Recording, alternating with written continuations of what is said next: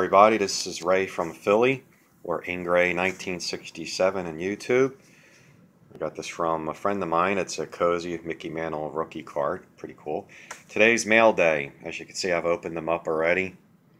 I had six packages come in over the past couple days, and I haven't had a chance to open them, but today I'm opening them all. Some are from eBay, some are from Facebook. So first is my all-time favorite player, a 1980 Topps PSA 9 Mike Schmidt. Mint condition. Here's the front, here's the back. Nice shaped card. This is from my Schmidt collection. My goal is to collect every Schmidt card graded from his rookie year in 73 to his last year in 89. I have 73, now I have up to 80. So next up will be 81, so on.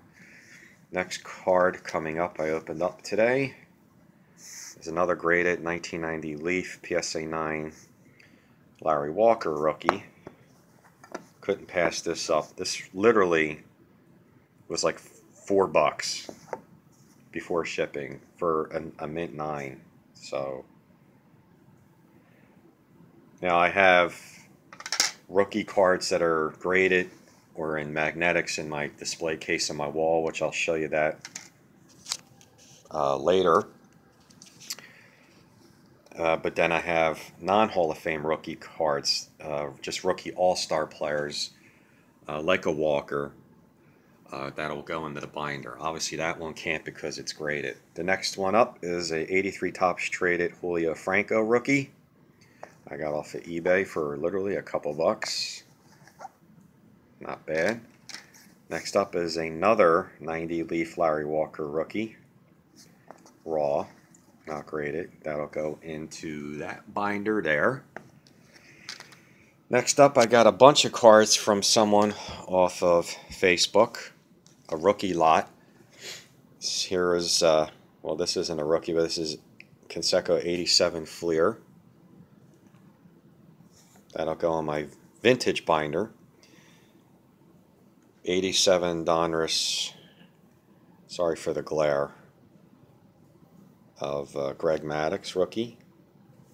Nice shape, sharp corners. This is a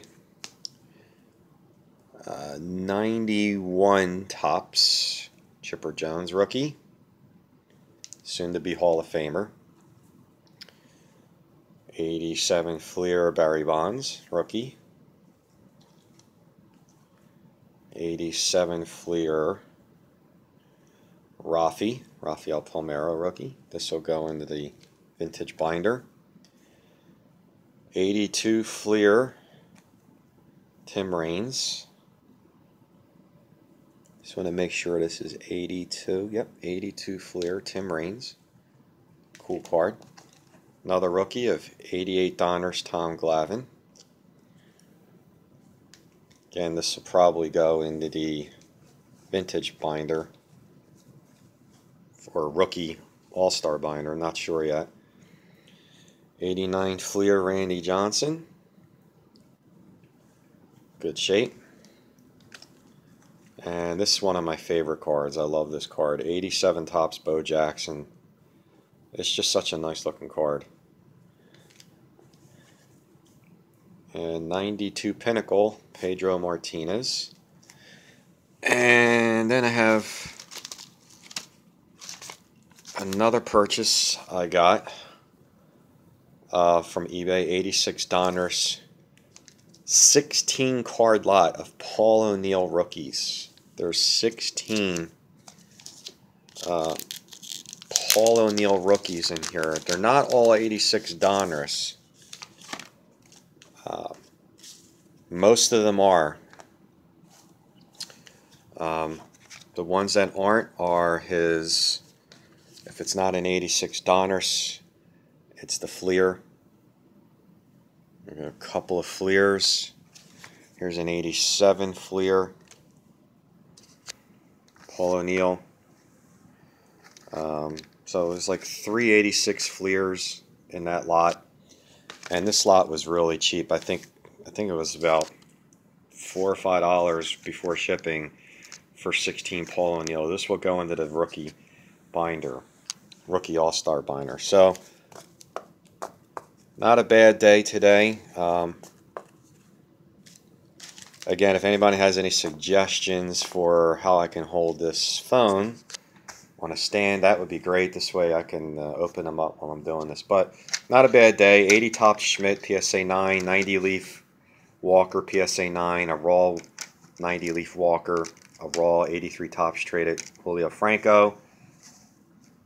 This lot here of a bunch of rookies from Canseco and Chipper Jones, Bonds, Raines, Glavine, Bo Jackson, Pedro, and this Paul O'Neill lot.